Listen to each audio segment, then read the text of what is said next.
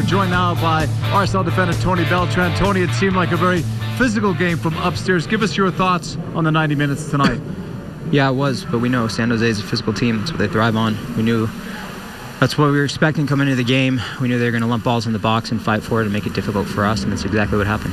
And Tony, how frustrating is it knowing that you have the better of the run and play? You guys were at 73% just on possession alone that first 45 minutes.